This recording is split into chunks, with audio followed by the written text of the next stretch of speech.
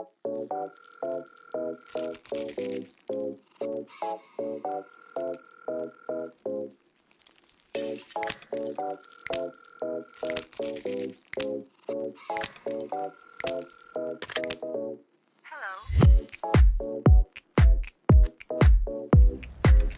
さん、こんにちは。ウォーキング野郎です。久しぶりに、久しぶりに喋り方です。喋り方です。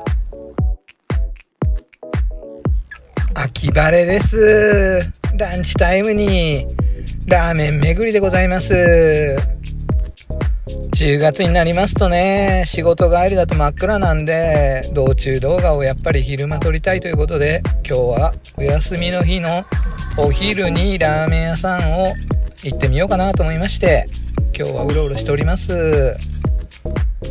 この辺りまでは悩みに悩んではいたんですけど、今回はやはり岡台から水道局までの岡山医大通りをちょっと攻めてみようかなと思います。冒頭出てきた鳥そばとしぞうさん皆さんご存知だとは思うんですけど行ってみたいと思います。まずはラーメン不安の方お待たせいたしました。でしょうね。秋になってこれからラーメン動画がじゃんじゃん出るはずなんですよ。というのも真夏に食べてるのも出てきたりするかもしれませんよ。なんちゃって。と喋ってる間に、左手に岡山医大の駐車場が見えてきました。もうすぐですよ。実は鳥そばとしぞうさん、ドッグタグ TV のドッグタグさんがずっと前なんですけど言ってて、早く食べたいなと思ってたところなんですよね。昼の営業は確か2時までだったので皆さんお昼時に満員ですね。このぐらいの行列でしたら余裕でございます。そして左手には黒田さんがあります。うなぎの美味しいお店ですよね。黒田さんからぐるっと見ると右手に岡山医大があります。鶏そばと静雄さん到着。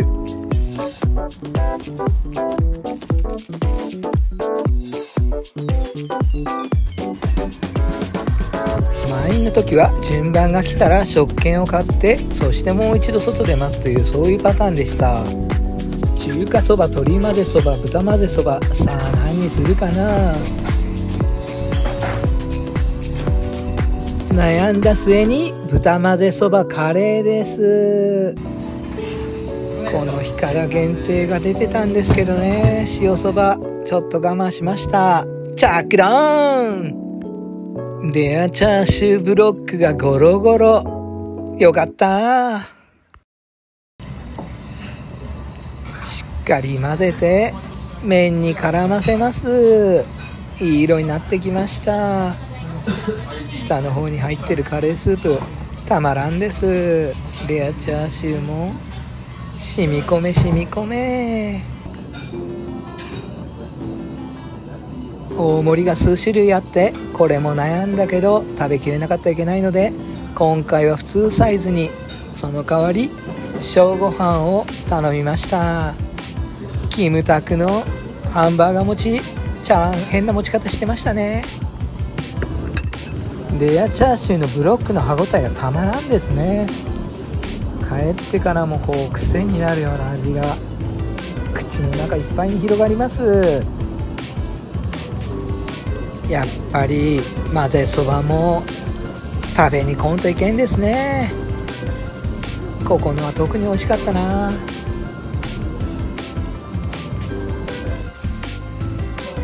いい色に染み込んでチャーシューもレアチャーシューからいい感じの色になりました。そしてドクターさんじゃないけどじっくりと味わいます。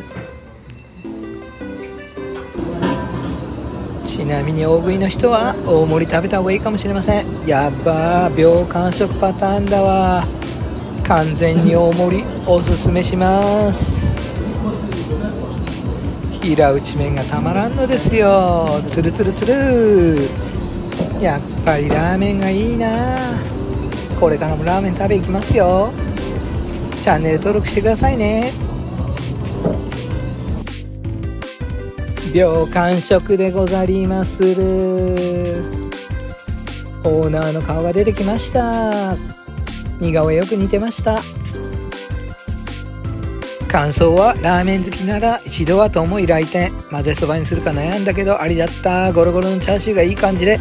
カレースープがあるの嬉しかったです。まず食べたい人が行列しているのや2号店ができるのも納得できました。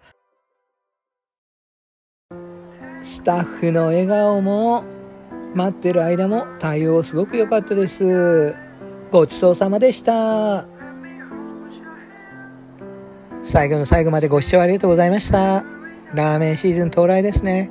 さあこれからはラーメンファンの方一緒にラーメン食べ行きましょう。それではまた。